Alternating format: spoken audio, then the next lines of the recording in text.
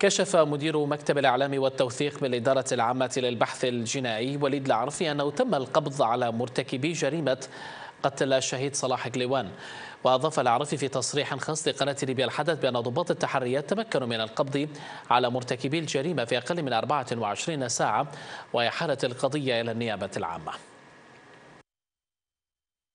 بسم الله الرحمن الرحيم والصلاة والسلام على أشرف الأنبياء والمرسلين سيدنا محمد على آله وصحبه أجمعين. اليوم نحن داخل لمقر الإدارة العامة للبحث الجنائي في مدينة بنغازي. آه، نكشف آه، خيوط جريمة كادت أن تقيد ضد مجهول ولكن بفضل من الله عز وجل وأيضا بهمم رجال التحريات داخل الإدارة العامة وخصوصا المجموعة الثانية. تم كشف هذه الجريمة بعد إحالة المحضر إلينا من النيابة العامة في أقل من 24 ساعة؟ تم ضبط كل الجنات ومعرفة من قام بقتل الأستاذ صلاح قليوان. آه، الآن القضية تم إحالتها للنيابة العامة. وبحسب اعتراف المتهمين فقد برروا ارتكاب الجريمة والسرقة لضيق الحياة المعيشية وأن جميعهم كانوا تحت تأثير المخدرات حسب قولهم. شوية قالوا إيش رايكم نطلعوا نمشوا الواحد هنا في الابيار وراجل حالته المادية كويسة بحيث إنه يمشوا له وراجل هذا معروف عنه زي ما تقول مثلا إنه يخاف واجد عرفت؟ نمشوا له قالوا شنو؟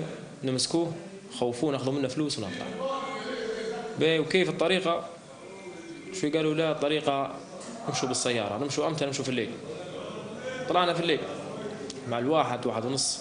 شوي يقول لي أنت تنزل عليه لأن أنا ما يعرفكش وكذا تنزل عليه أنت تمسكه وينزل المفتاح يخش الحوش.